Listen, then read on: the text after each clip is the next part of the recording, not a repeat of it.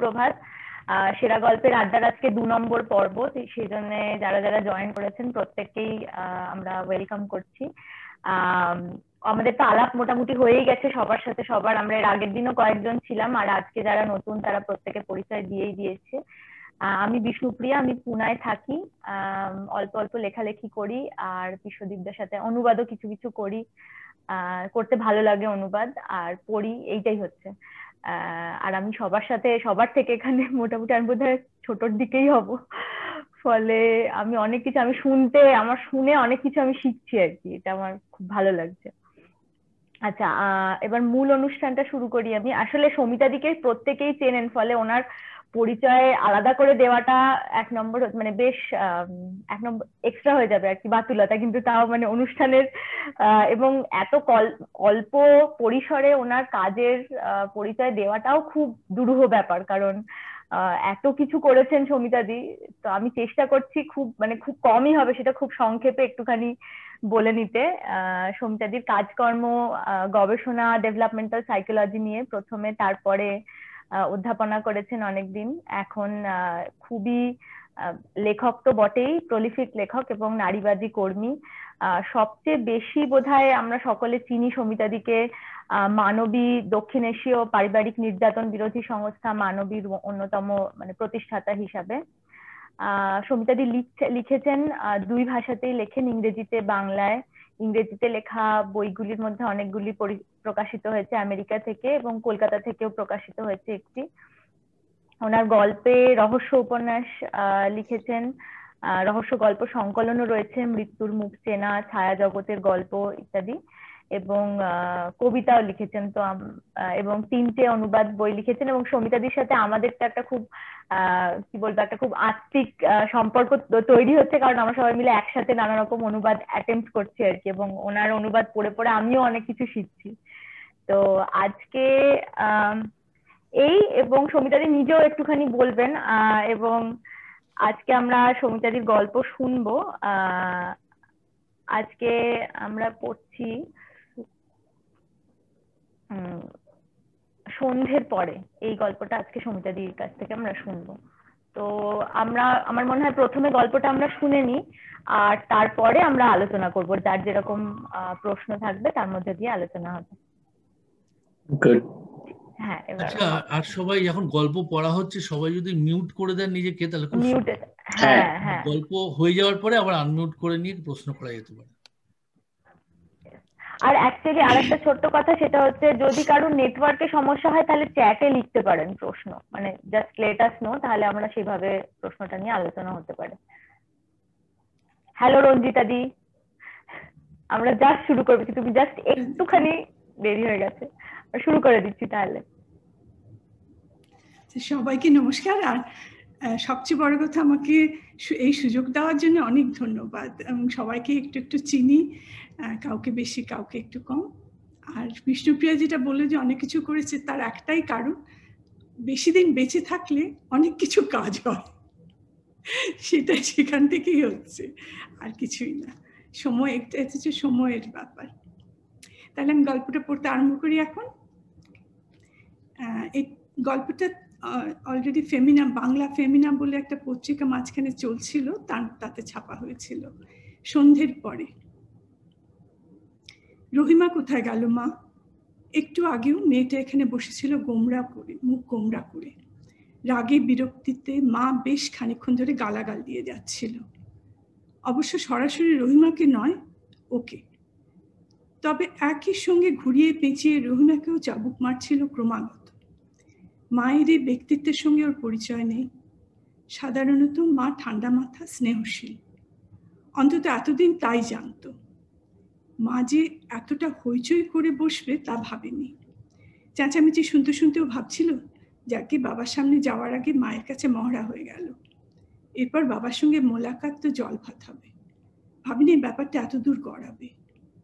একটুক্ষণের জন্য ঘর থেকে বেরোতেই এই কাণ্ড। রহিমান নেই। ওরা দুজনেই অবশ্য জানতো ব্যাপারটা। সামনে দাঁড়িয়ে প্রণাম করলেই ব্যাপারটা মিটে যাবে না। এত রকমের সমাজ স্বীকৃতি, স্বীকৃত গন্ডি ওরা ডিঙিয়েছে, তার দাম দিতে হবে না? লোকে এমনি এমনি থোড়াই ছেড়ে দেবে, সে মা হলেই পা রহিমা আর ওদের অবস্থার আকাশ পাতাল, ভাড়া। ওদের দুই ভাই, দুই বোনের মধ্যবিত্ত সংসার আর রহিমা বড়লোক বাপ মায়ের একমাত্র মেয়ে।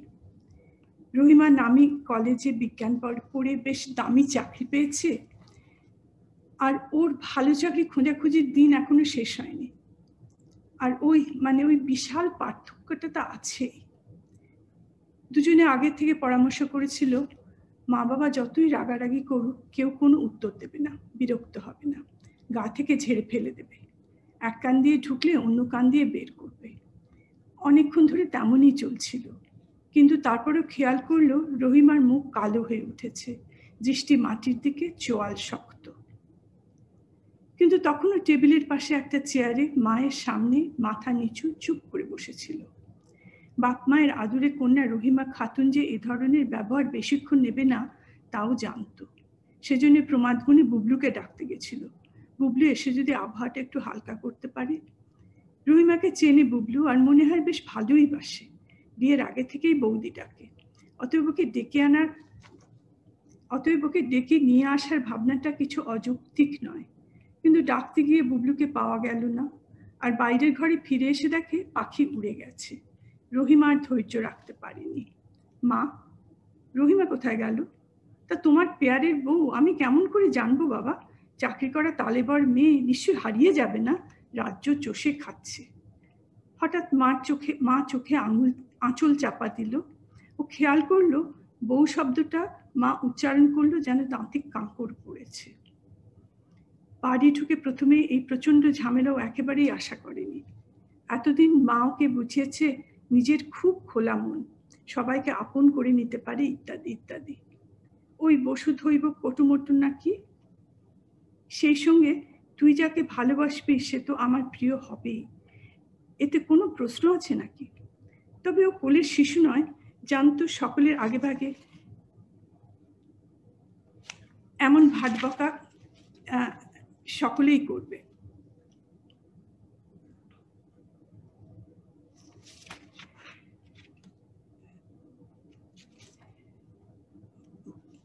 এমন ভাট বুকনি সকলেই ছাড়ে, সত্যিকারের কাজের সময় ঘেবড়ে যায়। তবে এতটা যে ঝড় উঠবে সত্যি ভাবেনি। দুজনে ঘরে ঢুকে প্রণাম করতে মা যেন কেমন স্ট্যাচু হয়ে গেল।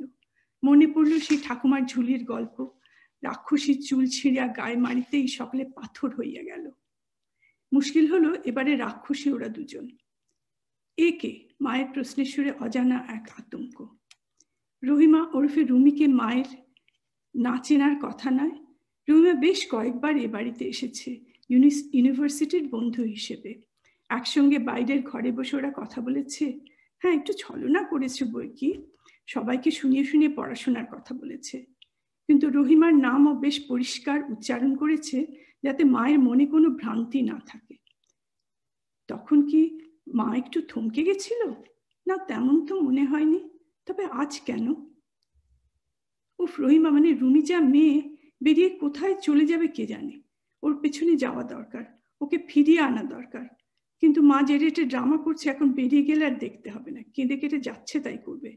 ওর ঘাড়ে অকৃতজ্ঞ তকমা আটবে আর বাড়ির দরজা চিরদিনের মতো বন্ধ করে দেবে। অবশ্যই রুমির যা রোজগার, তাতে ফ্ল্যাট ভাড়া নিয়ে ওরা দিব্যি থাকতে পারে।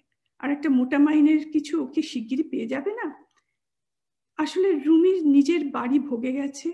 নিজের দিকটাও একেবারে শেষ হয়ে যাবে তা ভাবতে কেমন যেন লেগেছিল। সেই জন্যই এত চেষ্টা। বেরোবার জন্য পা বাড়াতেই মা বলল, বাবা যতক্ষণ না ফেরে বাইরে পা দেবে না। এটুকু কথা অন্তত রাখো। সমাজে মান তো সব নষ্ট করেছ। আমি এখন আত্মীয় স্বজনদের যে কীভাবে সেন্টেন্স শেষ করার আগেই আবার ফোঁত ব্যাস, এরপর আর কথা চলে না। টিপ টিপে বুকে বাবার প্রতীক্ষায়ও রয়ে গেল। রহিমা কোথায় চলে গেল জানতেই পারল না। ভরসা ছিল, নিশ্চয়ই খুঁজে পাবে। বাবা আসার পর সব বলতে, শুনতে আরও ঘণ্টা দুই। কথাবার্তায় ব্যাকগ্রাউন্ড মিউজিক দিল মায়ের নাক টানা আর ফোঁপানি। ভেতরে ভেতরেও কাঁপছিল। শেষে বাবা জিজ্ঞেস করলেন, তা বৌমা কোথায়? জবাব শুনে ওর দিকে তাকে হুঙ্কার ছাড়লেন, তাকে ঘরে আনার ব্যবস্থা করতে পারোনি? উল্লুক কোথাকার। সেটাও আমাকে বলে দিতে হবে। তারপর মায়ের দিকে বাঁকা চোখে তাকিয়ে, এত সর্দি লাগার কি হলো এখন? চত্বস্বর মায়ের চোখে তীক্ষ্ণ ছুরির ফলা, গলা থেকে একটা আওয়াজ বেরোলো হ্যাঁ মানে আরও অনেক কিছু বলার আছে। আর অপেক্ষা করল, নাও বাইরে পা বাড়ালো। শুনতে পেল মায়ের উচ্চগ্রামের গলা। কথাগুলো ধরা গেল না। বুবলু বাইক নিয়ে বাইরে দাঁড়িয়ে হতচকিত। তোকে তখন থেকে খুঁজছি, কোথায় ছিলি এতক্ষণ? এদিকে থার্ড ওয়ার্ল্ড ওয়ার আরম্ভ হয়েছে। পেছনে উঠে বস, তাড়াতাড়ি হবে। নিজের বাড়িতে যাওয়ার উপায় রুমি নেই। সে রাস্তা বন্ধ। সেখানে খুঁজলে কোনো লাভ হবে না। চার পাঁচজন বন্ধু বান্ধবের বাড়ি গিয়ে খোঁজ করল ওরা। নেই। রাত সাড়ে এগারোটা। মনে মনে একটু ভয় করল এবার, একটু আশঙ্কা। অবশ্য রুমি যা স্বাধীন চেতা মেয়ে, এমন তো করতেই পারে। রুমিকে কোনোদিনও এতটুকু ভয় পেতে দেখে, দেখেনি। কোথায় যেতে পারে মেয়েটা? বুবলু তো বাইক নিয়ে আরও কয়েকটা দূরের জায়গায় দেখে আয়। আমি এদিকে কিছু চেনা জায়গায় যাই। দুজনে আলাদা গেলে বেশি এরিয়া কাভার করা যাবে। আসলে ও বুবলুকে সঙ্গে নিতে চায়নি। রুমির একটা প্রিয় জায়গা আছে, একটা লোকাল পাব সারেঙ্গি। আলো চকমক জমজমাট, গান চলে সারা রাত। ক্রাউডও মোটামুটি ভালো। ওরা দুজনে বেশ কয়েকবার গেছে কয়েকবার গেছে বন্ধুদের সঙ্গে। রুমি বলতো, এখানে এলে আমার মন ভালো হয়ে যায়। আজকে মন খারাপের সময় সেখানেই গিয়ে একা বসে আছে হয়তো। দরজা খুলে ঢুকতেই এক ঝাঁক গানের ছড়রা ওকে বেঁধে ফেলল। ভালো ভিড় জমেছে সারেঙ্গিতে। অন্যদিনের চেয়ে একটু যেন রাফ ক্রাউড সন্ধ্যের স্টুডেন্টরা এখন বাড়ির পথে। কোনে পাতা, একটা কাঠের পাটাতনের উপর দাঁড়িয়ে জমকালো পোশাক পরে এক ক্রুনার গান গাইছে। মাইকটা যাচ্ছে তাই, মেয়েটার গলা সুর বিকৃত শোনাচ্ছে। তাও দু একজন মহিলার পুরুষ হালকা গা দুলিয়ে নাচছে এদিক ওদিক। এদের নাচতে মিউজিক লাগে না। এর মধ্যে রুমিকে খুঁজে পাবে কি? লোকে কাঁধ আর বগলের ফাঁক দিয়েও চোখ চালালো। কয়েকজন বিরক্ত হয়ে তাকালো ওর দিকে। ওই যে উল্টো দিকে কোনার একটা টেবিলে রুমি বসে। এত ভিড়ের মধ্যেও টেবিলটা খালি। কোন মন্ত্র বলে কে জানে রুমি একাই বসে আছে। এত পুরুষের ভিড়ে একজন সুন্দরী মেয়ে একা বসে আছে, কিন্তু কেউ হ্যারাস করছে না। এ ধরনের ব্যাপার আজকাল দেখাই যায় না। ওর অবাক লাগল। রুমি, রহিমা সুন্দর মুখখানা দুহাতের তালুতে রেখে চুপচাপ বসে অন্যদের দেখছে। কোনো শব্দ না করে সামনের চেয়ারে আলগোছে বসল। রুমি চোখ সরিয়ে তাকালো, কথা বলল না। রুমির নরম হাত দুটো ধরেও বলল, এবার বাড়ি চলো। বৌমাকে সঙ্গে নিয়ে আসতে বাবা আদেশ দিয়েছেন, আর রাগ করে থেকো না। রুমি ওর মুখের মুখের থেকে চোখ সরিয়ে নিল, উত্তর দিল না। বড় করুণ দেখাচ্ছে ওকে। বাড়ি চলো লক্ষ্মীটি, প্লিজ। রুমি ওর আঙুলে আঙুল জড়ালো, ফিসফিসিয়ে বলল, আগে একটা চুমু খাও। বেশ অবাক হলো। এমনিতে খুব সংযুক্ত রুমি। এমন ডিমান্ড সচরাচর করে না। এত লোকের সামনে তো নয়। আজ কি হলো? বাড়ি চলো রুমঝুম। এতক্ষণে মিটে গেছে সব কিছু হাব ভাব দেখে মনে হলো রুমি নড়তে রাজি নয়। ওর দিকে বড় বড় দু চোখ মেলে বলল আচ্ছা একসময় তো আমরা ঠিক করেছিলাম পালিয়ে যাব। বাড়ি, ঘর বাবা মা ভাই বোন সমাজ সব ফেলে। সেই প্ল্যানের কি হলো? সেটা বাতিল? আচ্ছা রুমি কি এতই রেগে আছে যার কোনোদিনও বাড়িতে যাবে না? ওকে ইলোপ করতে চায়, কিন্তু বিয়ে তো হয়েই গেছে। তা সে যেরকমই হোক না। আইনসঙ্গত তো বটে। হ্যাঁ মা জ্বালাচ্ছিল ঠিকই, সেটা ওরা এক্সপেক্ট করেনি, কিন্তু বাবা কেমন ঝট করে মেনে নিল, সেটাও তো আনএক্সপেক্টেড এত রাগের প্রয়োজন তো আর নেই। গানের তালে তালে বসে বসে রুমি গা দুলিয়ে চলছে চেয়ার ডান্সিং চট করে চারদিকে তাকিয়ে দেখে নিল। কেউ তেমন নজর দিচ্ছে না ওদের দিকে। আশপাশ দিয়ে লোক চলাচল করলেও সকলেই ওদের টেবিলটা সন্তর্পণে এড়িয়ে যাচ্ছে, ধাক্কা পর্যন্ত লাগছে না। কি ড্রিঙ্ক করছিলে? আমি অর্ডার করি আর দুটো। কাছ দিয়ে হেঁটে যাওয়া একজন ওয়েটারের দিকেও তর্জনে তুলল। সেটাই তো মুশকিল। রুমি চোখ দুটো ছল ছল করল, করে উঠল। তেষ্টা পেয়েছে খুব, কিন্তু গিলতে পারছি না। আর খেতে পারব কিনা জানি না, সব বানচাল হয়ে গেল। বানচাল সবই তো ঠিক হয়ে এসছে এখন। ওয়েটারটা দাঁড়িয়ে অস্বস্তি ভরে তাকালে রুমির দিকে। একটা বিয়ার আর একটা, এক গ্লাস হোয়াইট ওয়াইনের অর্ডার নিয়ে হুশ করে চলে গেল। খাবে কিছু? সেই দুপুর থেকে তো কিছুই খাওনি। খাব? রুমি ভাষা ভাষার চোখে তাকালো ওর দিকে। না, খেতেও পারব বলে মনে হয় না। শোনা এত চিন্তা করো না। সবই ঠিক হয়ে গেছে। বাবা মেনে নিয়েছেন, মাও নিশ্চয়ই মেনে নেবে। দু একদিনের বাস্তা। এত টেনশন করো না। করব না, বলছো? হঠাৎ উঠে দাঁড়াল রহিমা, ওর দিকে হাত বাড়িয়ে বলে চলো বেরিয়ে পড়ি। অর্ডার দেওয়া দুটো ড্রিঙ্ক ফেলে রহিমার হাত ধরে উঠে দাঁড়াল। যা মুডি মেয়ে সুমতি হয়েছে। এখন ড্রিঙ্কটা শেষ করতে গেলে হয়তো আবার বিগড়ে যাবে। যাক কি পয়সা। ওয়েটার এসে বাধা দিল। ওয়েটার এসে বাধা দিল না। দুজনে এগিয়ে গেল দরজার দিকে। ঘর ভর্তি লোক সরে গিয়ে ওদের বেরোবার জায়গা করে দিচ্ছে। প্রথমে যতটা টাফ ক্রাউড মনে হয়েছিল, ততটা নয়। এখনও শিবালরি আছে। ধাক্কাধাক্কি না করে একজন মেয়ের জন্য সম্ভ্রমভাবে জায়গা করে দিচ্ছে। অনেকেই কথা বন্ধ করে ওর দিকে তাকালো। অদ্ভুত দৃষ্টি। রাত সাড়ে বারোটা বাজে, কিন্তু এই অঞ্চলে আলোর কমতি নেই। লোকজনের চলাচল প্রায় সারা রাত। কিন্তু রহিমার সঙ্গে পাপ থেকে বেরিয়ে ওর মনে হলো দুনিয়ায় আর অন্য দুটো প্রাণী নেই। রাস্তায় লোক নেই, গাড়ি নেই, রিক্সা নেই, ঠেলা নেই, ফুটপাতে কেউ শুয়ে নেই।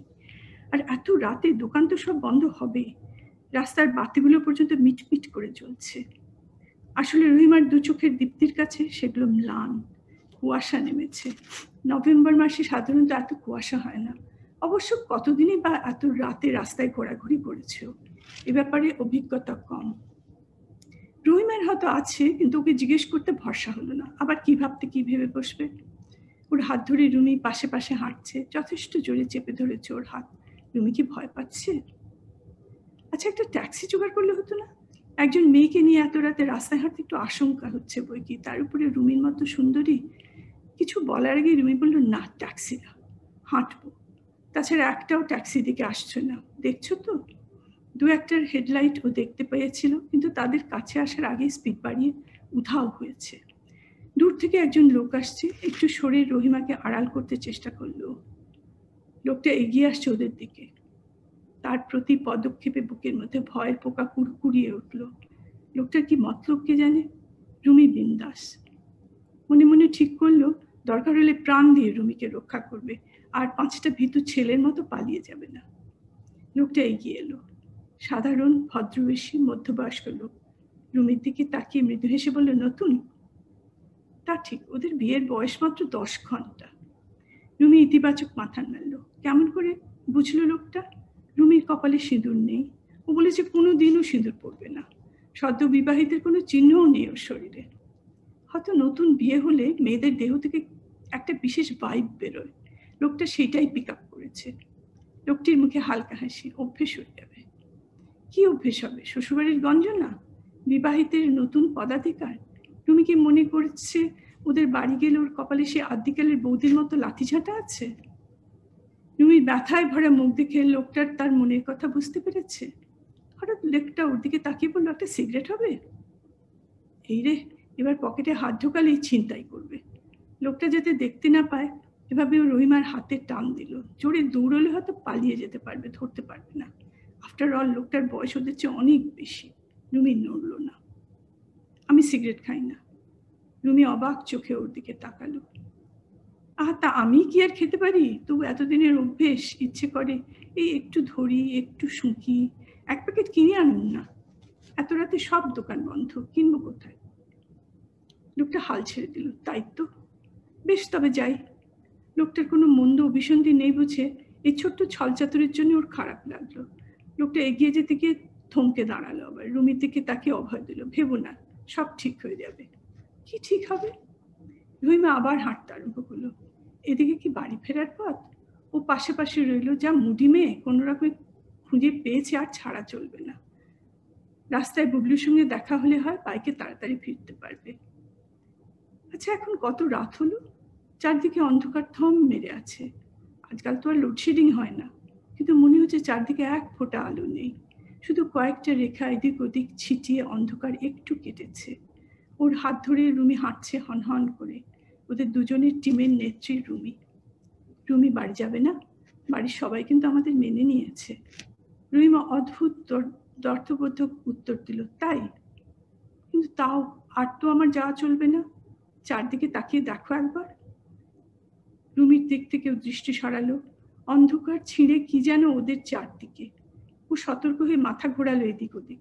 জোনাকির মতো ছোট্ট ছোট্ট আগুনের ফুলকি হাঁটু বরাবর ছড়িয়ে রয়েছে। কি ওগুলো? একটু খেয়াল করে বুঝতে পারল সারি সারি জ্বলন্ত চোখ। রাস্তার অধিবাসী অজস্র কুকুরের দল ভিড় করেছে ওদের ঘিরে। তাদের সম্পূর্ণ অবয়ব বোঝা না গেলেও প্রত্যেকটার দুটো চোখ জ্বলছে। ওর ভয় ভয় করতে লাগল। এমন ঘিরে ধরেছে কেন? একসঙ্গে আক্রমণ করার তোড়জোড় করছে? শুনেছি এমন বুনো কুকুরের দল চিলি দেশের নানান শহরে নাকি ঘুরে বেড়ায়।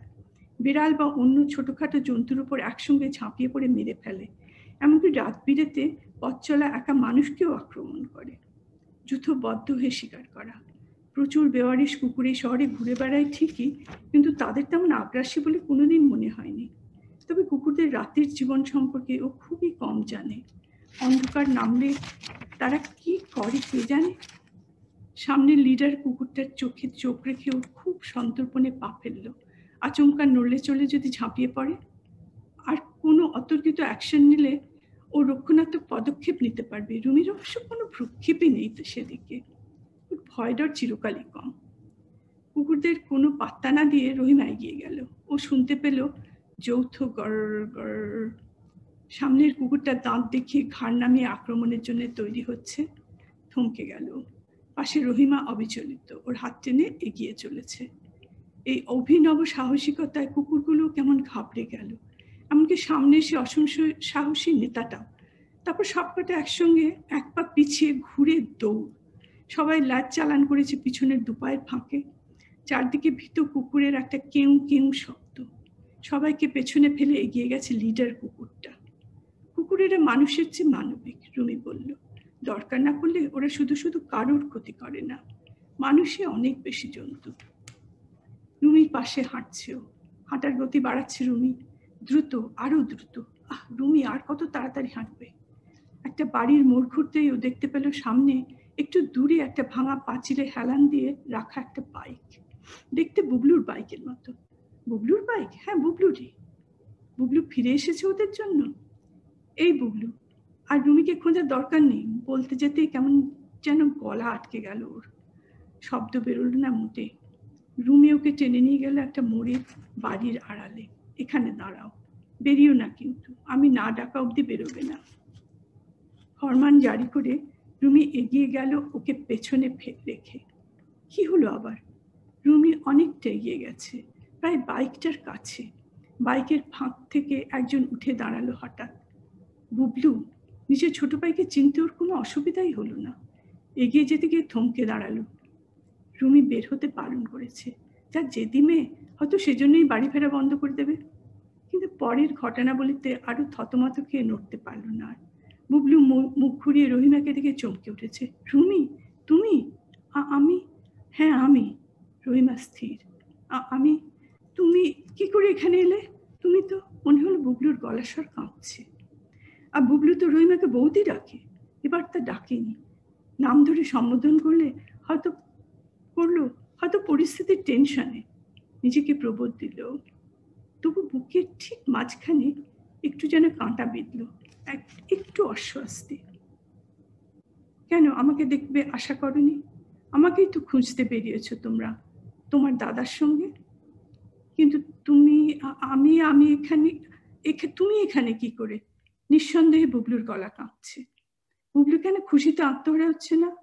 বৌদিকে পাওয়া গেছে বলে হইচই করে ওঠা উচিত নয় কি? বাড়ির আড়াল থেকে কচ্ছপের মতো মাথা বের করল, বের করে উঁকি দিল। রহিমার শরীরটা কি বেড়ে গেছে? কেন বেশ বড় দেখাচ্ছে ওকে? বুবলু কিছু বেটে ছেলে নয়, কিন্তু রুমি যেন তার চেয়েও লম্বা। মেয়েদের মধ্যে রুমি একটু লম্বাই। অবশ্যই আলো ছায়ার, অবশ্যই আলো ছায়ার খেলা। চারদিকে এক অদ্ভুত অন্ধকার। বুবলু, তুমি কি তোমার দাদাকে সব কথা বলেছ? রুমির গলার স্বর কর্কশ শোনালো। তুমি যা করেছ, তা বুকে নিয়ে বাঁচবে কেমন করে? কি করেছে বুবলু? কি ইঙ্গিত করছে রহিমা? আমার মাথা গোলমাল হয়ে গেছিল। আমি নিজেকে ঠিক রাখতে পারিনি, বিড়বিড় করে বলল বুবলু। কিন্তু রুমির সঙ্গে নয়, এখন নিজের সঙ্গে কথা বলছে বুবলু। এটা বাস্তব নয়। রুমি মরে গেছে, এ দৃশ্য অলিক। আমি ভুল দেখছি হ্যালুসিনেশন মাথা ঘুরে গেল ওর। রুমি, বুবলু, বুবলুর মাথা সত্যি খারাপ হয়ে গেছে। ভুল বকছে। রুইমা তোর ভাইয়ের সামনে দাঁড়িয়ে। লার্জার দ্যান লাইফ তুমি আমাকে মেরেছো, বুবলু। তুমি এখন, তুমি সেই সত্য থেকে পালাতে চাইছো। ভাব দেখাচ্ছ যেন কিছুই হয়নি। যেন তুমি কিছুই করেনি। কিন্তু আমি তো তোমাকে পালাতে দেবো না, বুবলু। ও মাথা সরাতে পারছে না। নির্দেশ অমান্য করে তাকিয়ে রয়েছে সামনের দুজনের দিকে, অপলোক। বুবলুর গলা থেকে একটা আর্তস্বর বেরোলো। ওর ছটফটে উচ্ছল ছোট ভাইয়ের গলায় নয়, ভীত, সন্ত্রস্ত এক দোষীর অপরাধের ভারে প্রায় বুঝে যাওয়া কণ্ঠস্বর। নিজেকে সামলাতে পারিনি আমি। রুমি, তুমি তো জানতে অনেকদিন থেকে আমি তোমাকে চাইছি। তুমি আমাকে চাইলে না কেন? দাদার চেয়ে আমি কোন দিকে কম? আমি কেন তোমাকে পেতে পারি না? ওকে ঠিক শুনতে পেল? বুবলু চাইছে রুমিকে? ওর দাদার বউকে? ওর নিজের বৌদিকে? আচ্ছা রুমির শরীরটা আরও বড় হয়ে উঠছে না? আরও লম্বা? আরও আরও চওড়া? রুমির গলার আওয়াজ আরও উচ্চগ্রামে আশেপাশের বাড়ির জালনা খুলে ওকে উঁকি দেবে এবার।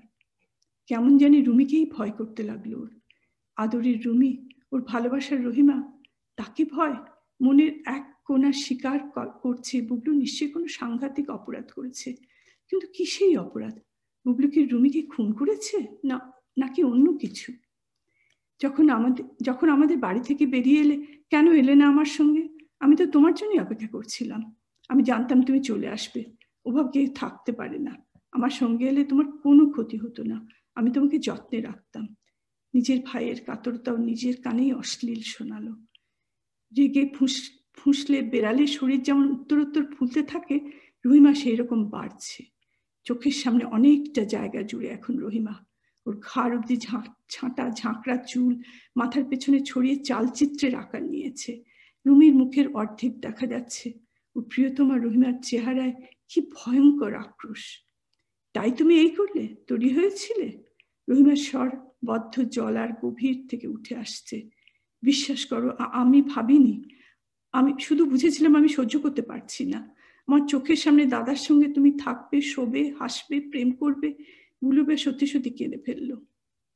তাই তুমি এমন করলে? পারলে? রহিমার কথা চারদিকে প্রতিধ্বনি তুলল। ওর সঙ্গে রুমিকে সহ্য করতে পারছে না। বুবলু, সেই জন্যে কি করেছে বুবলু?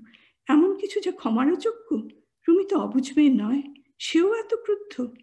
বিশ্বাস করো, ভাবিনি এমন হবে। তুমি ফিরিয়ে দিলে আমি পাগল হয়ে গিয়েছিলাম। কিছুক্ষণের জন্য সম্পূর্ণ স্থিতি হারিয়েছিলাম। তোমাকে শাস্তি দিতে চেয়েছিলাম।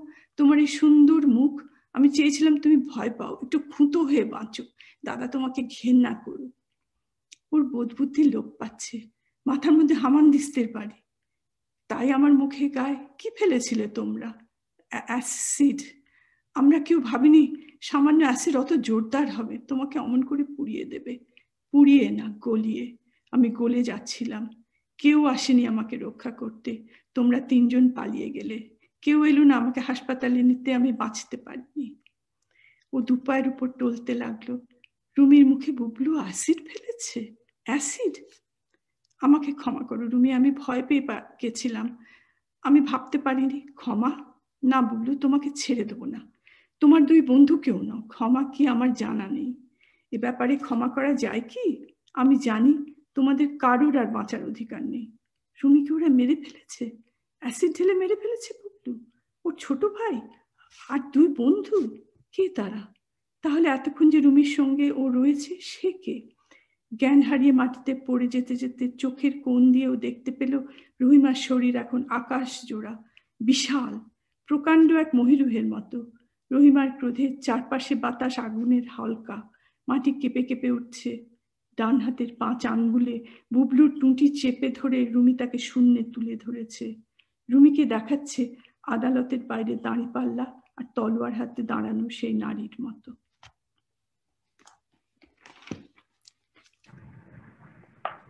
সাড়ে সতেরো মিনিট তো? থ্যাংক ইউ সো মাচ সমিতাদি। খুব খুব ভালো লাগল। আমি আসলে প্রশ্ন শুরু করার আগে আমি তোমার কাছে একটুখানি তুমি যদি একটু বলো গল্পটা সম্পর্কে মানে একটু ইন্সপিরেশন মানে একটা সময় যখন লিখেছি তখন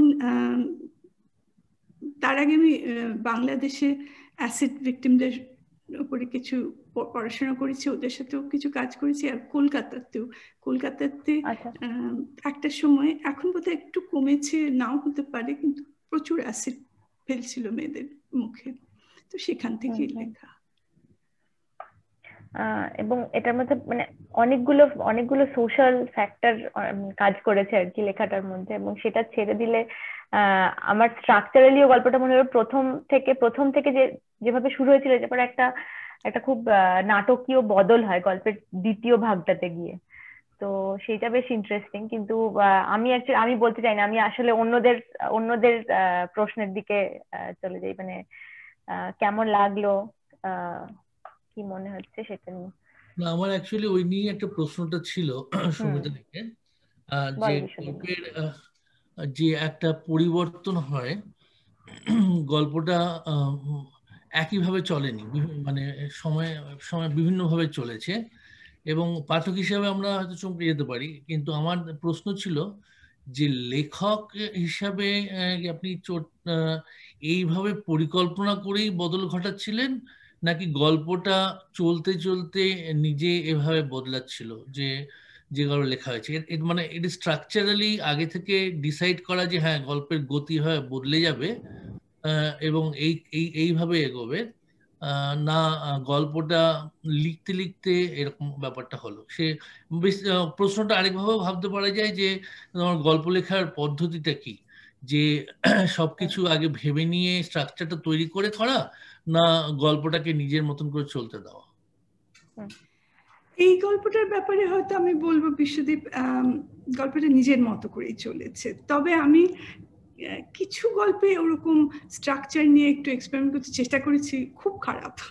হয় না ভালো।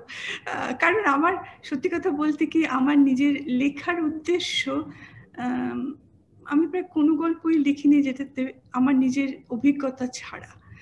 এবং আমার অভিজ্ঞতা যেহেতু নারীবাদের উপরে এবং, আমি সারা জীবন ভায়োলেন্স এগেনস্ট উইমেন কাজ করেছি নারী অত্যাচারের উপরে। তো সবগুলোতেই প্রায় সেটা ছাপ পড়ে। মানে অবভিয়াসলি ওভারওয়েলড হয়ে থাকি সেই জন্যে। এই গল্পটাতে, গল্পটা কিন্তু নিজে মানে এগোতে এগোতে হয়েছে। খানিকটা চিন্তা করেছিলাম যখন অ্যাসিড এ হচ্ছে অ্যাসিড অ্যাটাকগুলো বেশি বাড়ছিল। আর খানিকটা হচ্ছে যে প্রায় সমস্ত অ্যাসিড অ্যাটাকেই দেখা যায় যে একটি মেয়ে রিজেক্ট করেছে। কোনো একটি ছেলের প্রেম বা আমি তোমাকে বিয়ে করব বা আমার সাথে ঘোরো বা whatever that might be তাকে রিজেক্ট করার পরে, তাকে প্রত্যাখ্যানের পরে অ্যাসিড অ্যাটাকটা ঘটে। এবং সেটা অনেক সময় মানে খুব যে রিলেশনশিপটা মানে রিলেশন বলব না আমি একেবারে, যে ছেলেটি যে মেয়েটির সাথে প্রেমের প্রেমের প্রস্তাব দিচ্ছে বা কিছু সেই সম্পর্কটা হতে পারে না, এমন সমস্ত ঘটনাগুলো। যেমন এক মেশো ভাইজিকে বলছে মানে একে বলছে শালীর মেয়েকে বলছে, বা কাকা ভাইজিকে বলছে এবং তারপর তার মুখে অ্যাসিড ঢেলে দিচ্ছে। এরকম অনেকগুলো হওয়াতে তো আমার এটা মানে মনে হয়েছিল সেরকম ভাবেই লিখেছি। তবে আমি বলব যে এটাতে আমি কিন্তু এটা আপনা আপনি এগিয়ে অন্যভাবে এগিয়ে গেছে। স্ট্রাকচার নিয়ে আমি ভাবিনি এটা। সমিতা দি আমি একটা প্রশ্ন করতে চাই। যেহেতু আপনি এতদিন ধরে এদের সাথে কাজ করেছেন আপনি কি আমি কিন্তু বেশি দিন করিনি। ও কাদের সাথে বলছো? না আমি বলছি যে এই যে মেয়েদের নির্যাতন যে এত মানে এক্সপোজার আপনার হ্যাঁ। হ্যাঁ। তো একটু জানতে চাই যে এই রকম যে ঘটনাগুলো ঘটে, এগুলোর মেয়েরাই কি নিজেদের, নিজেরা সেভ করে এইসব সিচুয়েশনে কারণ এদের কি সত্যি কোনো সাজা টাজা হয়? আপনার এক্সপিরিয়েন্সের থেকে বলছি। মেয়ে এই যে একটা মানে বড় হয়ে যাচ্ছে, আকার ধারণ করছে মানে শি ইজ জাজ to herself she is going to protect her own মানে মানে যেটাই হয়ে থাকুক আর কি, রূপক হিসেবে দেখুন কি সিম্বল কি হোয়াট এভার ইট ইজ তো সে নিজেকে জাস্টিস দিতে চাইছে এবং দিচ্ছে এবং যে ছেলেটি তাকে বলেছে যে তুমি বেরোবে না, তুমি ওখানে থাকো। তো এইটা একটু জানতে চাই যে আলটিমেটলি কি মেয়েরাই মেয়েদের নিজেদের সেভ করে? এদের কি সত্যি কোনো ক্রিমিনাল জাস্টিস সিস্টেমের মধ্যে দিয়ে এরা কি যায়? এদের কি কোনো মানে ক্রাইমের কোনো পানিশমেন্ট হয় কিছু হয়? নাকি আই মিন লাইক আপনার এক্সপোজারের জন্য বলছি আর কি। নিশ্চয়ই জাস্ট কিউরিয়াস শিওর কিছু হয় কিন্তু যতটা হওয়া উচিত ততটা হয় না। এবং অনেক ক্ষেত্রেই এটা প্রমাণ করতে গিয়ে মেয়েদের বা কোনো যে কোনো ধরো ধর্ষণ বা পারিবারিক অত্যাচার বা যা কিছু প্রমাণ করতে গিয়ে মেয়েদের অলমোস্ট আরেকবার যেন তারই ভেতর দিয়ে যাচ্ছে এত রেপড জ্ঞান বলে মেয়েরা যে ইউনো কোর্ট সিস্টেমে বা কোথাও। সেটা হয়। প্রমাণ করাটা একটা এত কঠিন ব্যাপার হয়ে দাঁড়ায় যে অনেক সময় মেয়েরা খানিকটা এগিয়ে ছেড়ে দেয়। এখন মেয়েরা কি নিজের হাতে নিতে পারে পুরো ব্যাপারটা? হয়তো না, অনেক সময় না। তবে এটা তো আমি লিখেছি, আমার তো সবসময় মনে হয় যে যাই করি না কেন যে একটা জাস্টিস বা একটা মেয়েরা যেটাকে মনে করছে যে আমার জাস্টিস দরকার। যার জন্য আমি অনেক সময় অনেক গল্পে দেখি মেয়েরা, একটা কিছু করা হয়েছে কিন্তু মেয়েরা ক্ষমা করে দিল। আমার সেটাতে ভীষণ আপত্তি। ভীষণ আপত্তি যে কেন মেয়েরা ক্ষমা করতে যাবে কেন? ক্ষমা করার দরকার কি? একটা তার এই নেই সেই জন্য আমি এটাতে ক্ষমা মানে ছেলেটি চাইছে যে আমাকে ক্ষমা করে দাও বা ওর যে প্রেমিক মানে হাজব্যান্ড সে, স্বামী সে বলছে, ভাইকে কি ক্ষমা করে দেবে? কিন্তু আমি দেখাতে চাইনি সেটা। আমার কোনো, ক্ষমার দিকে আমার কোনো ইন্টারেস্ট নেই। অন্তত এই ব্যাপারে। আচ্ছা একটা কথা আমার শুনতে মনে হচ্ছিল গল্পটা পড়তে কি কারণ সেই জন্য যে তখন যে ও তো জানে না যে রুমি মারা গেছে, এই সময় শুনছে। হ্যাঁ তখন যে ওর ভাবনাটা কিংবা তা সেইখানে আমার মনে, আমি বুঝতে পারছিলাম না সেটা আমার কনফিউশন ছিল কি জানি না এখনও জানে না যে ওর কাছে মানসিকভাবে কিংবা এটাও হয়তো তুমি স্পেসিফিক্যালি কি দেখাতে চেয়েছো যে মানসিকভাবে যে যখনও বুঝে যাচ্ছে যে রুমি অ্যাকচুয়ালি মারা গেছে তখনও সে কি তার ভাইকে ক্ষমা করবে কিনা সেটা ভাবছে এটা কি কনসিয়াসলি লেখক লিখছেন? সেটা আমার কনসিয়াসলি লিখেছি সেটা that's a very good take on it কারণ এটা এত ছোট অল্প জায়গায় লিখেছি যে ধরাবে কিন্তু আমি কিন্তু সেটা ভেবেছি। এবং সেটা হয়তো আমার খানিকটা নিজস্ব বায়াস থেকেই এসছে যে ছেলেটি যখন দেখছে যে মেয়েটা মরেই গেছে তাহলে আমার ভাইকেই বা আমি কেন হারাবো? আর হচ্ছে যে ভয় পাচ্ছে যে ও যে মরে গিয়ে একটা কিছু বা ও যে ও যে ক্ষমা না করে ও যে প্রতিহিংসা নিতে যাচ্ছে যার জন্য বড় হয়ে যাচ্ছে বেড়ে যাচ্ছে। সেটা ওর ভয় লাগছে he is not use to men are not used to women asking for revenge. Mm. Okay. I think I think it's very interesting মানে এই লাস্টের লাস্ট যে ইমেজটা মেয়েটা মানে ultimately it's a it's a surreal situation যেখানে not happening এবং একদিক থেকে যেটা যেরকম একটা metaphor for sort of justice কিন্তু সেই জাস্টিসটা ইজ নট রিয়েল মানে আমাদের দিক থেকে মানে পাঠক বা লেখকের দিক থেকে এক ধরনের হোপ ফর জাস্টিস বলতে পারি আমরা। মানে ইন আনাদার লেভেল রিয়েলিটিতে নয় ফলে মানে সাইমালটেনিয়াসলি ভেরি পাওয়ারফুল মানে very heart breaking and also hopeful মানে এই দ্বন্দ্বটা আমার মনে হচ্ছিল যে এই ইমেজটার মধ্যে ধরা পড়ছে বারবার করে যে কারণ এটা এটা একটা অন্য স্তরে এই জাস্টিসটা সার্ভ হচ্ছে কিন্তু বাস্তবে নয় মানে এটা একটা পরাবাস্তব জাস্টিস বলা যেতে পারে। তো সেইটা আমি ভাবছিলাম। Thank you good observation nice Ranjita di আমার মনে হয় তপন দারও কিছু বলার থাকবে এই গল্পটা নিয়ে আমি শুনতে চাইছিলাম। তপন দা তুমি মিউটে আছো। হ্যাঁ। এই গল্পটার এ কি? যে প্রথম কথা হচ্ছে যে ভাষাটা খুব লুসিড আর দ্বিতীয় হচ্ছে যে আপনার গল্পটা যেভাবে এগিয়েছে ইট ইজ টাচিং যেটা বিষ্ণুপ্রিয়া বলল মাল্টিপল ডাইমেনশনে চলেছে যে ফ্যামিলির ভেতরে অ্যাকসেপ্টেবিলিটি তারপরে তারপরে মেয়েটা তার নিজের এ থেকে সে যে চলে গেছে এবং তারপরে তাকে খুঁজতে যাচ্ছে। এবং দেখল যে ঘটনাটা যেভাবে ঘটছে এবং তারপরে তাকে অনুরোধ করছে এবং তারপর ওই যে লোকটা এলো, ওটা একটা একটা খুব সুন্দর একটা অদ্ভুত সিচুয়েশন মানে এ হলো আর কি ওই জায়গাটা, একটা টেনশন মতো।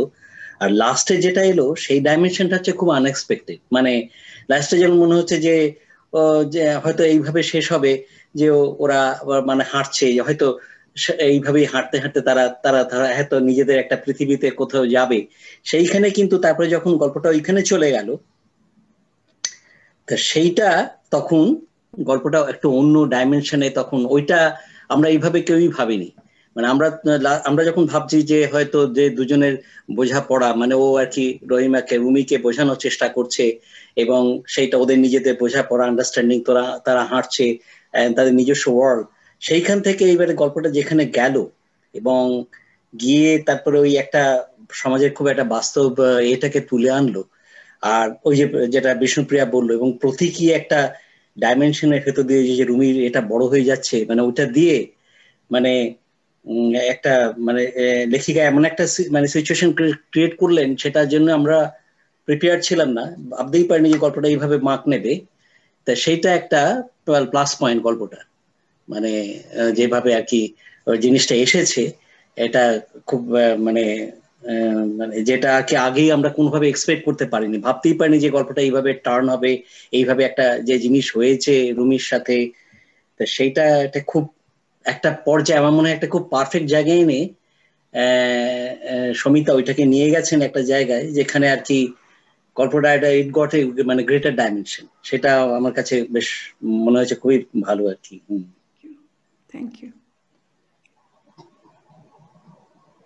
আসলে যেটা সমিতাদি বলছিলেন যে সাধারণত একটা মহিলা চরিত্রের কাছ থেকে এক্সপেকটেশনগুলো এক্সপেকটেশনের একটা টাইপ থাকে আর কি। এবং মহিলা চরিত্র কেন্দ্রিক গল্পের এক্সপেকটেশনেরও একটা টাইপ থাকে যে আইদার ইট উইল বি মানে যেটা যাকে বলে ওপেন এন্ডেড হবে and open ended with uh, with a কি বলব inclination towards a romantic justice মানে ওপেন এন্ডেড যেটা বললেন যে হাঁটতে হাঁটতে চলে গেল would be romantic open endedness যেখানে আমরা ডিসাইড করব।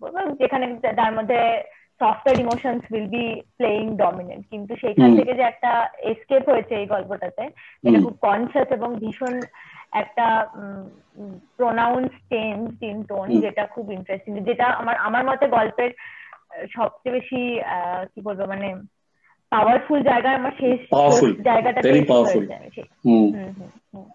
ভেরি পাওয়ারফুল এবং ওইটা আর কি যেটা ওইখানে যেটা মানে যেটা তুমি বললে বিষ্ণুপ্রিয়া যে ওইখানে তখন বাস্তবতা আর পরাবাস্তবতা তখন একভাবে তখন মিলে যাচ্ছে। একটা অদ্ভুত একটা মানে জগৎ হ্যাঁ যে ঘটনাটা ও যখন দেখছে মানে যে ঘটনা যেন ঘটে যাচ্ছে একটা নাটকের মতো সেইটা একটা মানে যেটা মানে ম্যাজিক রিয়েলিজমের মতো আবার তার ভেতরে কিন্তু বাস্তবতার এটাও রয়েছে। এটা একটা খুব মানে দারুণ একটা এক্সপেরিমেন্ট আর কি ওখানটায়। হুম। সমিতাদি যে লোকটি ওই যে সিগারেট চাইছিল যে মানে যার সাথে ওদের প্রথম ওই জায়গাটা আপনি কি একটা কি দুটো লাইন একটু কি পড়তে পারেন আরেকবার? জাস্ট মানে ওই জায়গাটা খালি মানে ওই যে লোকটা এলো তো? হ্যাঁ।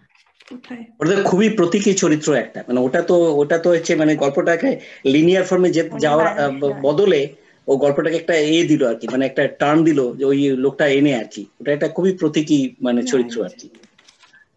ওটা না থাকলে আবার ওটা গল্পটা অনেক ফ্ল্যাট হতো। ওটা এনে উনি আরও জিনিসটাকে একটা ভালো ডাইমেনশন পেজ নাম্বার 7 হ্যাঁ পেজ কি কি কোন জায়গাটা বলে? ওটা তো বেশ অনেকটা ছোট দু একটা লাইন। হ্যাঁ যে সিগারেট খেতে চাইছে সব ঠিক হয়ে যাবে। ও লাস্টটা শেষটা তো? সব ঠিক হয়ে যাবে। হ্যাঁ লোকটার কোনো মন্দ অভিসন্ধি নেই বুঝে এই ছোট্ট ছলচাত্রের জন্য ওর খারাপ লাগল। লোকটা এগিয়ে যেতে গিয়ে আবার থমকে দাঁড়াল রুমির দিকে তাকিয়ে অভয় দিল। ভেবো না সব ঠিক হয়ে যাবে। কি ঠিক হবে? হ্যাঁ হ্যাঁ। এটা খুব সিগনিফিকেন্ট এই খুবই সিগনিফিকেন্ট হুম হ্যাঁ। যে মানে এটা ট্রানজিশন মানে point point of transition from one মানে একটা ডিরেকশন থেকে আরেকটা ডিরেকশন এটা মুভ করছে। বিকজ ইটস কোয়েশ্চেনিং মানে আমার নিজের কিন্তু নিজের যেটা ভালো লেগেছিল মানে ইন্টারেস্টিং লেগেছিল পড়তে গিয়ে বই করতে কুকুরের সিনটা ওটা ওটা ওটা খুব খুব সাংস্কৃতিক মানে আর কি সাংকেতিক আর কি হ্যাঁ। সাংকেতিক সেটাই। আমার তাই মনে হয়েছে কুকুরের জায়গাটাই সব থেকে বেশি সাংকেতিক। ওরা ধরতে পেরেছে ব্যাপারটা। পরাবাস্তব ব্যাপারটা আসলে ওরা অ্যানিমালরা ধরতে পেরেছে এই জায়গাটা। আমার আমার নিজের যেটা মনে হয় আমি তোমরা বলেই বলছি অন্য কোথাও হলো না মেবি রেকর্ডিং বন্ধ করে দিয়ে বলার। আমি দেখাতে চেয়েছিলাম যে একজন empowered women can have that মানে পুরো পরপর পরপর সব জায়গাতেই ও দাঁড়াতে পারে একা আর কি। কুকুরদেরও করতে পারছে ওই লোকটার সাথেও কথা বল মানে it's it's almost a progression যে কি হচ্ছে ওর। আমি একটা কথা এবারে হ্যাঁ, আমি আসছিলাম তোমার তোমার অ্যাকচুয়ালি তোমার সাথে আমার এই দেখা হচ্ছে ভালো লাগছে। কথা হয়েছে হ্যাঁ ফোনে কথা হয়েছে। এই যে জার্নিটার একটা তুমি বেশ লম্বা বর্ণনা দিয়েছ পাব থেকে আর ওই ভাইয়ের সঙ্গে দেখা হওয়া অবধি গল্পের অনেকটা জায়গা জুড়ে সেই বর্ণনা রয়েছে, পথ চলা, অন্ধকার হচ্ছে, কুয়াশা আসছে। এটার এটার, এটা কি ইচ্ছাকৃত? এটা কি এটার এটা কি এইভাবে ধরে নেওয়া যেতে পারে যে it's the journey of the women of an empowered women সেই জন্যই কি এই এই জায়গাটার বর্ণনা এতখানি গুরুত্ব পেয়েছে? নাকি এটা এইভাবে সচেতন ভাবে কিছু ভেবে লেখনি এমনি লিখতে লিখতে লেখা হয়েছে? জার্নিটা তো দেখো ইজিয়েস্ট ফ্র্যাঙ্কলি যে কোনো কিছুতে হাঁটা বা চলা বা এটা হচ্ছে that's the easiest way of showing progression খানিকটা আমি বলব যে it's taking the easy way out so to speak কিন্তু ডেফিনেটলি ও তো দেখো কোথায় যাবে? তো বাড়ি যেতে পারবে না বাড়ি যাচ্ছে না কিছু করছে মানে ওগুলো সব আটকে গেছে।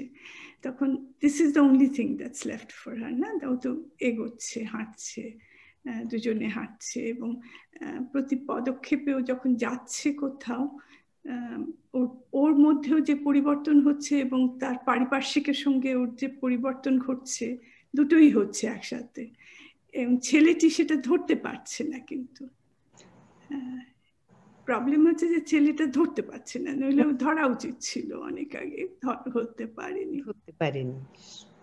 আনটিল শেষ মুহূর্ত ছাড়া পর্যন্ত। মানে দেখছে ও ওর কাছে তো সবই আছে সিম্বলগুলো পাচ্ছে কিন্তু ধরতে পারছে না।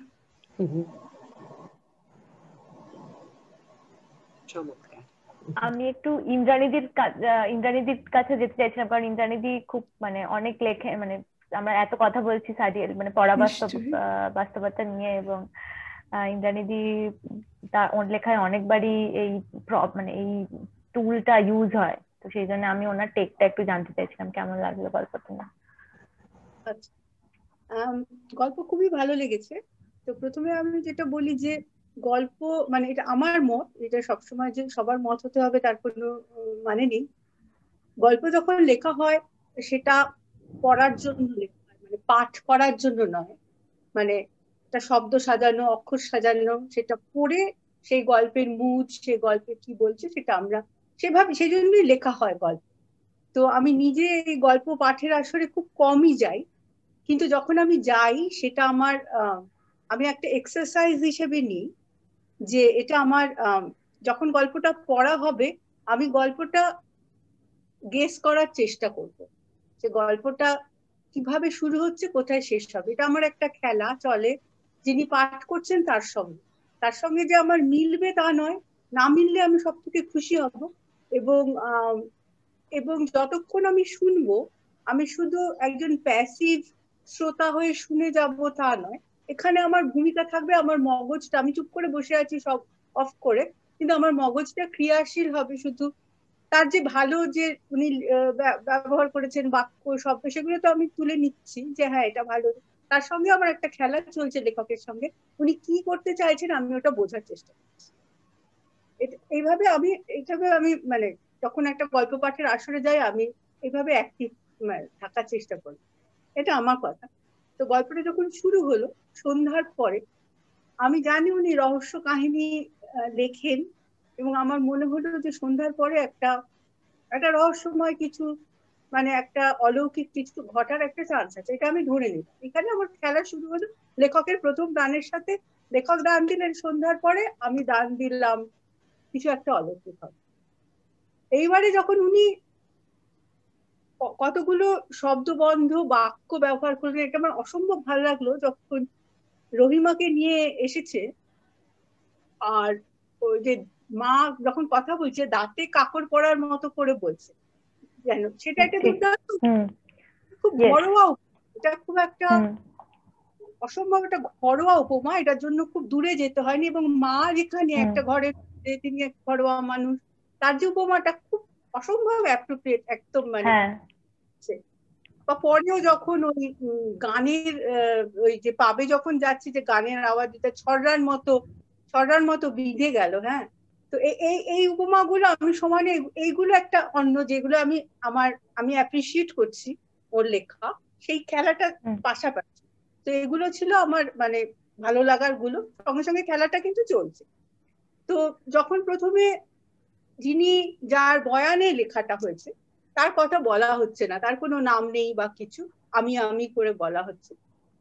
আমি তখন নানা রকম ভাবতে চেষ্টা করলাম যে, মা এইরকম এত কেন রিয়াক্ট করছে? এটা কি ধর্মের কোনো ব্যাপার যে মানে এই ধর্মের লোক ছেলেটি বা রহিমা অন্য ধর্মে সেই জন্য মা এরকম রিয়াক্ট করছে? এটা আমার এটা আমার দান চলছে আর এটা আমি বলছি। না কেন রিয়াক্ট করছে? না কি এই আমি কথাটা বলা হচ্ছে না সে কি সত্যি ছেলে? নাকি সেও মেয়ে, একজন মেয়েকে নিয়ে? মানে আমি এইভাবে ভাবার চেষ্টা করছিলাম ব্যাপারটা। কিন্তু গল্পটা টার্ন নিল। গল্পটা সেদিকে গেলই না। কারণ বাবা অ্যাকসেপ্ট করলেন, তখন আমার কাছে ওই আমি যে দানগুলো দিচ্ছিলাম, ওগুলো একদম কেটে বেরিয়ে গেল। যে ওইখানে ওই সব কোনো ব্যাপারই না। ও অ্যাকসেপ্টেড হয়েছে, এবার ওকে আনতে যাচ্ছে ছেলেটি। তো যখন ও পাবে ঢুকলো, আমি তো বললাম ওই ছড়ার মতো বিধে গেল ইত্যাদি তো মেয়েটি যখন বসে আছে, তখন যে বলা হচ্ছে যে অত পুরুষের ভিড়ে ওই সুন্দরী মেয়েটি একা বসে আছে, ওর দিকে মানে ওই টেবিলে কেউ বসেনি যেন ওকে কেউ দেখতেই পাচ্ছে না, এরকম একটা ব্যাপার। তখন আমার, আমি আবার একটা দান খেলাম যে মেয়েটা রিয়াল নয় মানে ও সত্যি মানে মানুষ নয় আর কি। ওকে কেউ দেখতে পাচ্ছে না। বেসিক্যালি শুধু এই দেখতে পাচ্ছি। তখন আমার চালটা হলো তাহলে কি এই ছেলেটিও কি ভূত? মানে এই ছেলেটিও কি অতীত বা এই ছেলেটিও কি অলিক মানে শুধুই দুজনে দুজনকে দেখতে পাচ্ছে। তো এইগুলো আমি যতক্ষণ লেখা চলছে, লেখা শুনছি, আমি আমার মতো ভেবে যাচ্ছি, আমি আমার মতো সাজাচ্ছি, আমি আমার মতো খেলছি। এবং প্রতিটা ক্ষেত্রে সমিতা দিয়ে আমাকে মেরে বেরিয়ে যাচ্ছেন। সমিতা দিয়ে আমাকে বিট করে যাচ্ছেন। প্রথমটা মিললো না। এবারে দুজনকেই আমি ভাবছি, দুজনেই কি তাহলে রিয়াল নয়। এবার যখন হাঁটতে আরম্ভ করল রাস্তায়, তখন যে লোকটির সঙ্গে দেখা হলো, যে সিগারেট চাইছে অবভিয়াসলি সে না, তখন আমি নিজেই নিজেকে কাটলাম ওই জায়গাটায়, যখন ওয়েটারকে ওরা অর্ডারটা দিতে পারল। তার মানে ওয়েটারটা ওয়েটার ওর অর্ডারটা শুনতে পাচ্ছে, দুটো ড্রিঙ্কের অর্ডারটা তখন নিতে পারল। তার মানে না, ছেলেটি, তার মানে দুজনের একজন রিয়াল নইলে ওয়েটার তার অর্ডারটা নিতে পারতো না। এইবারে যখন রাস্তায় দেখা হলো ওই লোকের সঙ্গে অবভিয়াসলি লোকটি ওই রহিমার জগতের বাসিন্দা, যে জিজ্ঞেস করছে যে নতুন কিনা। মানে ওইটা তখন আমি বুঝলাম যে ওইটা।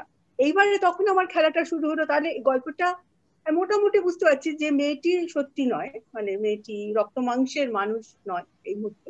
তাহলে গল্পটা কীভাবে শেষ হবে? এবার গল্পটা কোন দিকে যাচ্ছে? ছেলেটি কি ছেলেটিকে কি মেয়েটি সেই তার জগতে নিয়ে যাবে? কুয়াশার জগতে, যেখানে ওদের হাঁটা শুরু হলো। কিন্তু তারপর দেখা গেল যে ওই বাইক দাঁড়িয়ে আছে। তখন আমি ভাবলাম, তাহলে কি ছেলেটি, আবার আমার মনে সেইটা, সেই খেলা শুরু হলো যে, তাহলে কি ছেলেটিও অলিক? এবং ওরা যখন বাইকে করে খুঁজতে আসছিল ওই গাবলু আর ছেলেটি দুজনেই কি তখন কোনো অ্যাক্সিডেন্টে মারা গেছে এবং দুজনেই বুঝতে পারছে না। সেরকম কি কিছু? তো সেইখানটায় গিয়ে সমিতা দিয়ে একদম কিস্তি মাঠ করে দিলেন যে ব্যাপারটা একদম অন্যদিকে অন্যদিকে চলে গেল। গল্পটা দেখা গেল যে যেটা সমিতাদি মানে বললেন এবং আমরাও বুঝতে পারলাম যে গল্পটি মেয়েটির প্রতিহিংসার গল্প এবং মেয়েটি তারপরে আকারে বড় হলো এবং ছেলেটি দূর থেকে তার যে প্রেমিক সে বা স্বামী যাই হোক দূর থেকে সেটি দেখছে। এবং শেষে যেটা আমার ভালো লেগেছে, সেটা অসম্ভব শেষ লাইনের রূপকটাও যে তাকে দেখাচ্ছে ওরকম সেই দাড়ি পাল্লায় যে দু হাতে ধরে দাঁড়ানো মূর্তির মতো। খুবই সুন্দর। তার সঙ্গে আমার যেটা আরেকটা সূক্ষ্ম জিনিস যেটা সমিতাদি উল্লেখ করেছেন আমারও সেটা ভালো লেগেছে। শুধু প্রতিহিংসা নয়, এবং ছেলেটির যে মেয়েটির প্রতি যে দৃষ্টিভঙ্গি এতক্ষণ ছিল, যে পান সারাতে তার সেই সুন্দর নরম হাত এটসেট্রা এটসেট্রা সেটা কিন্তু তার মন মুছে গেছে। এবারে সে তখন ভয় পাচ্ছে। তার কাছে সেই নরম তুল তুলে সুন্দর প্রেমিকায় ব্যাপারটা কিন্তু চলে যাচ্ছে। সে একটা বিরাট বড় কিছু তার সামনে দাঁড়াচ্ছে। সে তখন তাকে ভয় পাচ্ছে। আমার কাছে গল্পের এই যে একটা পরিবর্তন ছেলেটির দৃষ্টিভঙ্গি, আমি এইটাকেই নিলাম। মানে প্রতিহিংসা, সরাসরি তো গল্পটা অবশ্যই, প্রতিহিংসা এবং সরাসরির বাইরে যদি কিছু থাকে, যা ভেতরে অন্তর্লীন, আমি সেইটাকেই নিই যে ছেলেটি যে তার প্রেমিক ছিল এতক্ষণ যে তার সেই সুন্দর নরম হার এসব বলছিল চলছিল সে যখন তার চেহারা বড় হয়ে সমস্ত কিছু ছাড়িয়ে যাচ্ছে সে তখন ভয় পাচ্ছে। এই যে টোটাল পরিবর্তনটা এটাই আমার কাছে সব থেকে মানে আমার কাছে মানে খুব ভালো লেগেছে। আমার কোনো প্রশ্ন নেই কারণ এটা আমি তো আগাগোড়াই বলছিলাম যে আগাগোড়াই আমি প্রশ্ন করে গেছি মনে মনে সেগুলো আপনারা আগাগোড়াই আমি দাবার খেলা এবং সমিতাদি খুব সুন্দর আলোচনা। আমার এটা খুব ভালো খুব ভালো। সমিতাদি যে শেষের দিকে ওই যে মানে বড় হয়ে যাচ্ছে আর ও ভয় পাচ্ছে ছেলেটি ওটা আমার মনে হয়েছে যে রিয়ালিটি অ্যাকসেপ্ট করা খুব ইজি না। মানে ওটা ডিফিকাল্ট মানে ওই জন্যই ও কম্প্রোমাইজের কথা ভাবছে।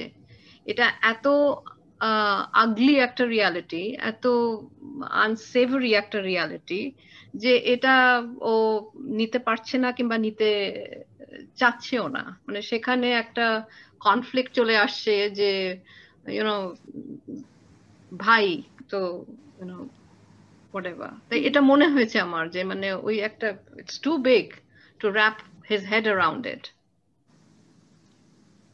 true আমি হয়তো আর একটু সহজ করেই ভেবেছি কারণ আমি আমার মনে হয়েছে যে মেয়েটি যতক্ষণ নিজের রোলের মধ্যে আছে ততক্ষণ শি ইজ ভেরি অ্যাকসেপ্টেবল যেটা ইন্দ্রাণীও বলল যে যতক্ষণ নরম সুন্দর। কিন্তু যেই মুহূর্তে ও বাইরে চলে গিয়ে অন্য মানে রোল থেকে ব্রেক করছে তখন এক্সপেকটেশন থেকে বেরোচ্ছে। তখন আর ভয় পাচ্ছে তখন আর সুবিধে লাগছে না আর কি। জাস্ট স্টোরি গল্প গল্প বিশ্বদীপ তুমি মিউটে আছো। বিশ্বদীপ মিউটে তুমি। এই জন্য আমার হচ্ছে আমি বলছি শুনতে পাচ্ছি না। হ্যাঁ আমার ছিল। একটা প্রশ্ন একটু গল্পটাকে নিয়ে আমার বাইরে আর একটা গল্পের বাইরে। তো প্রথম মানে তুমি যখন গল্প পড়ার সময় বললে যে এটা তোমার অভিজ্ঞতা থেকে এবং নারীবাদী কাজকর্ম করার থেকেও এই গল্পের জন্ম একদিক দিয়ে মনে। তো দুটো কথা, অভিজ্ঞতা এবং মতাদর্শ। তাও আমরা যখন গল্প দেখেছি আমি আমি মনে মনে করতে পারি ছোটবেলায় অনেক লেখা পড়েছি, যখন পশ্চিমবঙ্গে মনে করো অনেকেই বিভিন্ন কমিউনিস্ট আন্দোলনের সাথে জড়িত ছিল এবং তাদের লেখাতে একটু ছাপ থাকতো। তো একজন লেখক হিসাবে কোনো মতাদর্শ কিংবা কোনো একটা বিশ্বাস কিংবা কোনো একটা প্রয়োজনের সঙ্গে নিজে জড়িত থাকা, এটা কি লেখককে লিখতে পথ দেখায়? না, এটা লেখকের জন্য, এটা লেখক সত্তার জন্য একটা শৃঙ্খল হিসাবে কাজ করে। কারণ তোমার যদি, আমার আমার প্রশ্ন আয় করে যে তুমি যখন এই গল্পের একটা বিষয়টা নিয়ে ভাবছ, যদি তুমি কোনো আদর্শ কিংবা কোনো আন্দোলন কিংবা ব্যক্তিগতভাবে জড়িত না থাকো, তাহলে কি একটা গল্প যে স্বাধীনতা পায়, যখন লেখক জড়িত থাকে, তখন কি সেই স্বাধীনতাটা চলে যায়? তুমি যদি আমাকে জিজ্ঞেস করো, সত্যি কথা বলতে কি জানো তো? তুমি ঠিকই বলছো।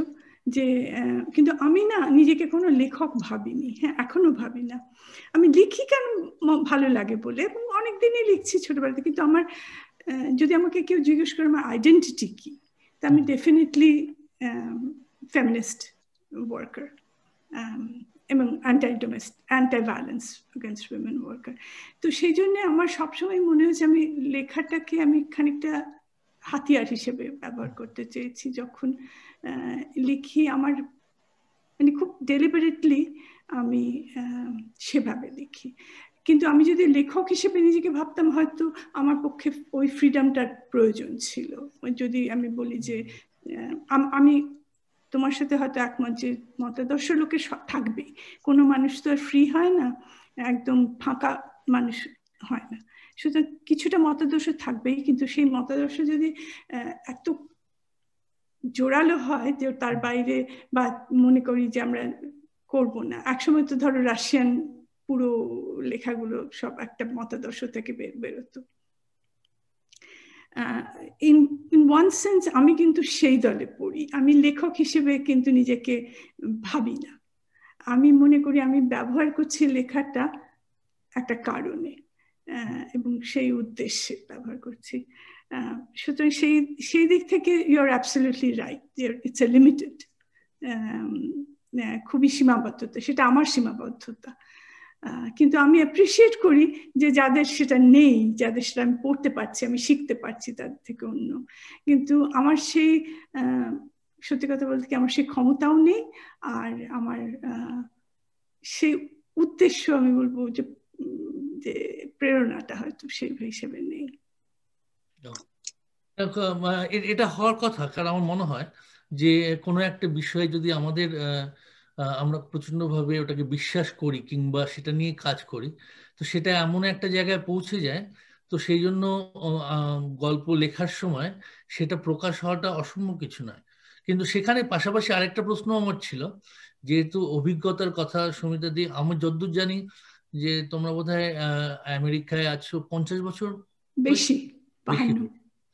তাহলে আমি জানি না এই নারীবাদী আন্দোলনের জন্য তোমার অভিজ্ঞতাটা এই দেশের মধ্যে যথেষ্ট থাকা উচিত।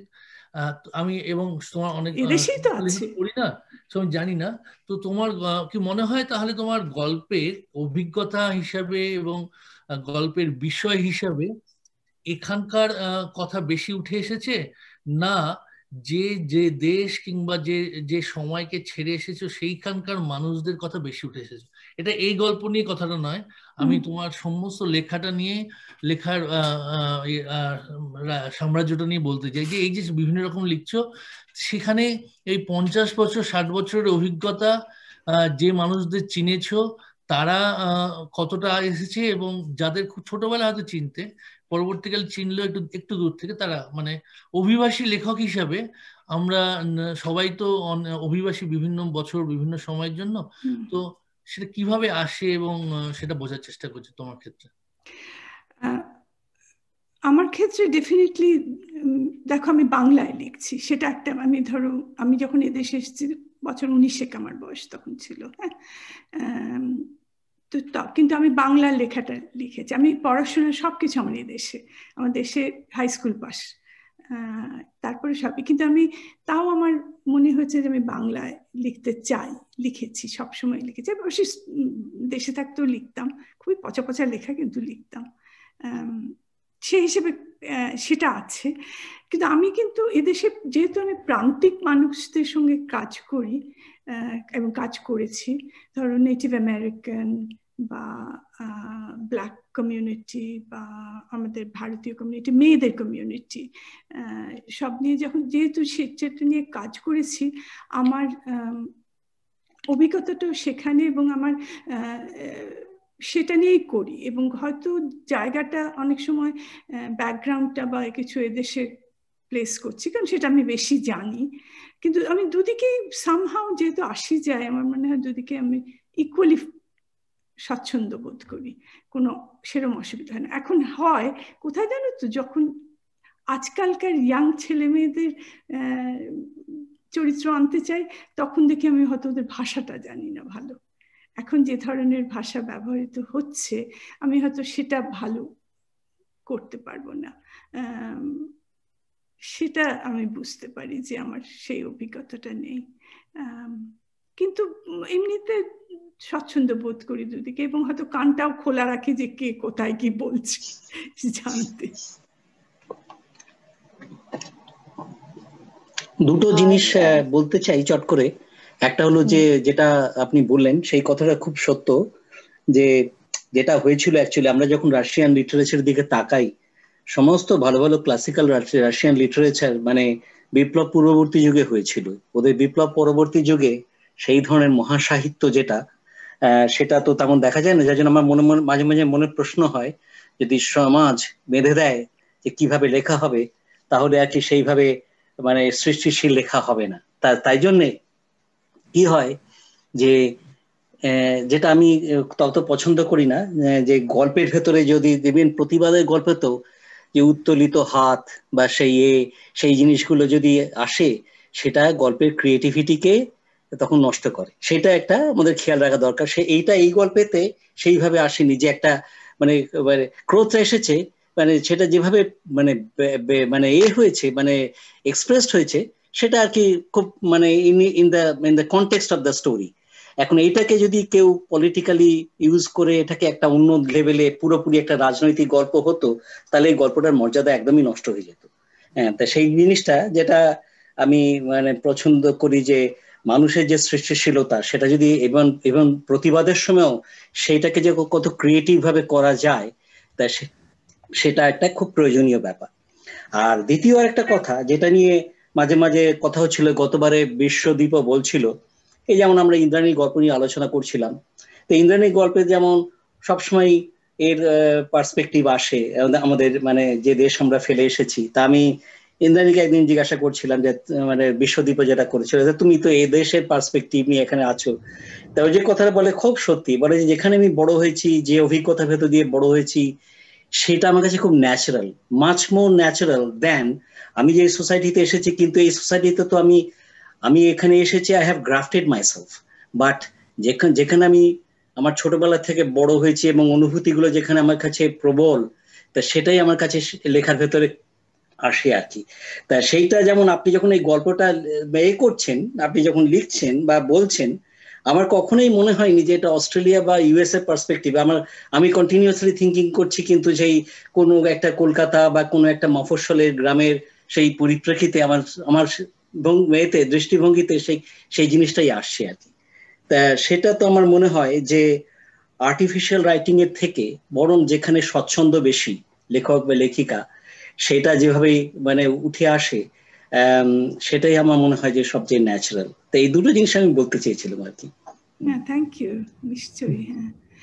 আই থিংক ওর কেউ একজন প্রশ্ন করছে? হ্যাঁ অর্পিতা দি বোধহয় প্রশ্ন করতে চাইছিলেন একটা আমি একবার দেখি চ্যাটে গল্প ওভারঅল গল্প লেখার ক্ষেত্রে গল্পের কি একটি শেষ থাকতেই হবে? মানে এটা একটা মোর জেনেরিক প্রশ্ন আমার মনে হয় তো সেদিক থেকে। এই প্রশ্ন কিন্তু আমার অত ক্ষমতা নেই গো যে তোমাকে বলতে পারি থাকতে হবে কিনা। ইন্দ্রাণী হয়তো বেটার পার্সন ইন্দ্রাণী বিশ্বদ্বীপ এরা। আমি খুব মানে সত্যি কথা বলতে কি লিখি খানিকটা নিজের আনন্দে বা ব্যবহার করছি কোনো একটা পার্টিকুলার ইস্যু তুলতে। নইলে সেরকম হিসেবে আমি লিখি প্রচুর ঠিকই কিন্তু আমার কোনো ওরকম কোনো না কোনো থিওরি বা আন্ডারস্ট্যান্ডিং নেই। ইন্দ্রাণী মেবি ইন্দ্রাণী বলতে পারবে হয়তো। আমি তো বিশ্বদীপকে বল পাস করে দিচ্ছি। বিশ্বদীপ। বিশ্বদীপ দা।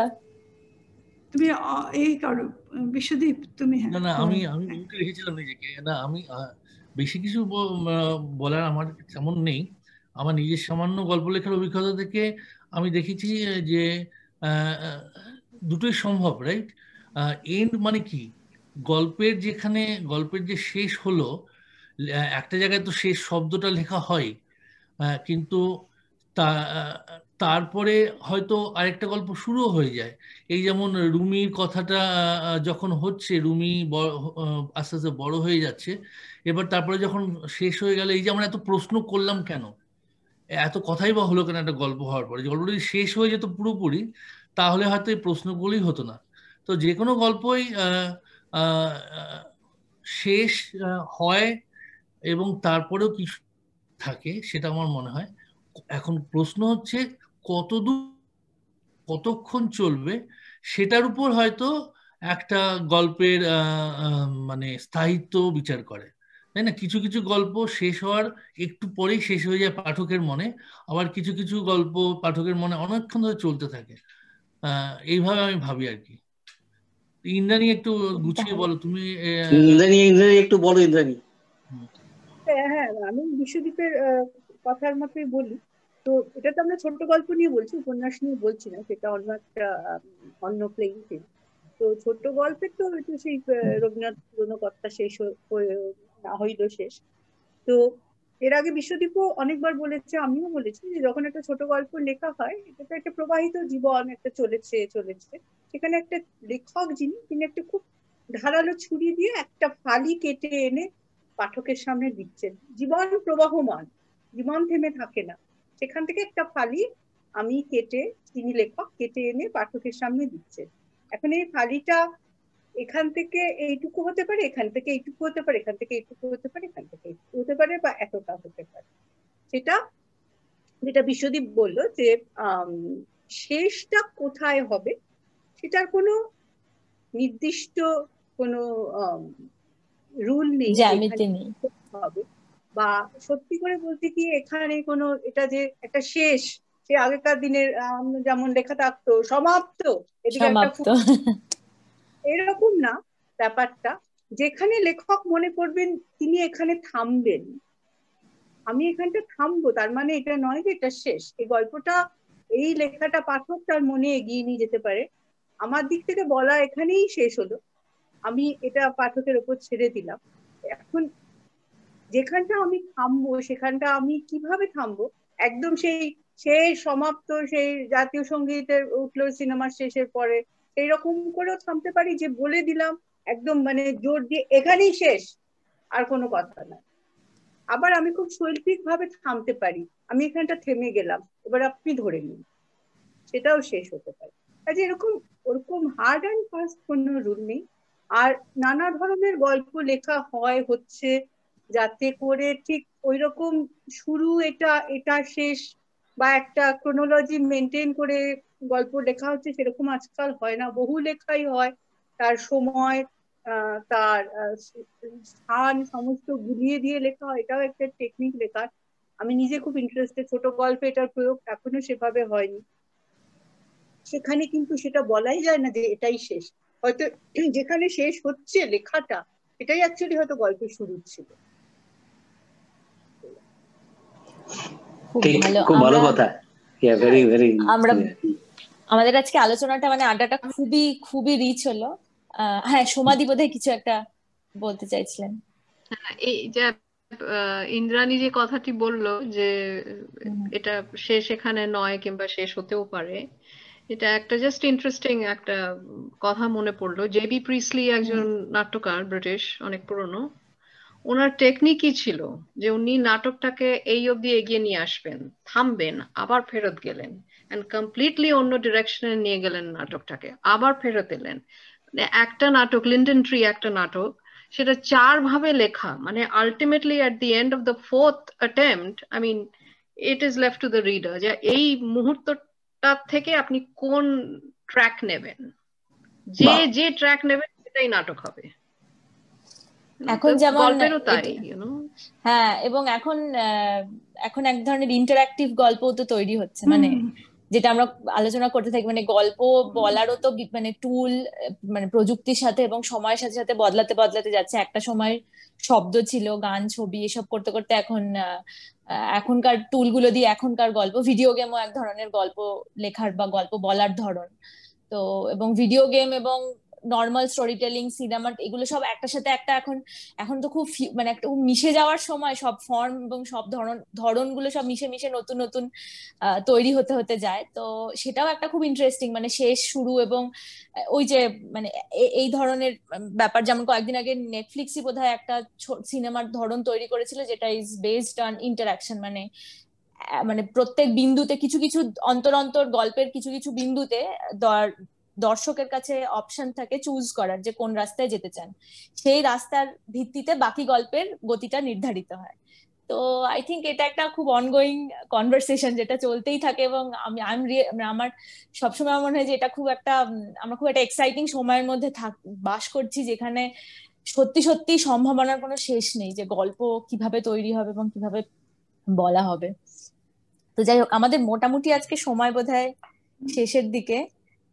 এবং I would like to thank every কারণ খুব ভীষণ ভালো আলোচনা হলো এবং সবাই এত এনগেজ ভাবে জয়েন করেছেন। আমরা চাই এবং আমাদের তো বোধহয় আগামী সপ্তাহগুলোতেও এটা চলতে থাকবে সিরিজ হিসাবে। তো আজকে যারা আছেন এবং যারা আজকে আসতে পারেন মানে প্রত্যেকেই আমরা, প্রত্যেকেই চাই আরও আরও করে আসতে আর কি। তো thank you so much Samita di. এত সুন্দর একটা গল্প শোনানোর জন্য এবং ইন্দ্রাণী দি সোমাদি তপন দা রঞ্জিতা দি আমি সবাই এবং অর্পিতা অর্পিতাদি সবাই আজকে আসলেন মানে এবং আজকে আরও অ্যাকচুয়ালি ইন্ডিয়াতে একটু সকাল রবিবার সকাল হয়ে গেছে এবং পিকনিকের সিজন বলে আরও দু একজন পিকনিক করেছেন বলে আসতে পারেননি। হোপফুলি অনেক জরুরি। সেটা অনেক বেশি জরুরি। বাট তারা আসার আসার ইচ্ছে ছিল দু একজনের। তারা আমাকে খুব অনুতপ্ত হয়ে বলেছেন যে কাল রাত্রিরে খুব পিকনিক করে ফেলেছি আজ আর গল্প ঘুম থেকে উঠতে পারলাম না। কিন্তু কিন্তু তারা মিস করল। তো thank you thank you so much অনেক আমরা আবার দেখা হবে। সবাই চাই সবাই ইয়েস আমি চাই সবাই আবার আসুন পরের পরের সপ্তাহ খুব ভালো আলোচনা হয়েছে। Thank you thank you thank you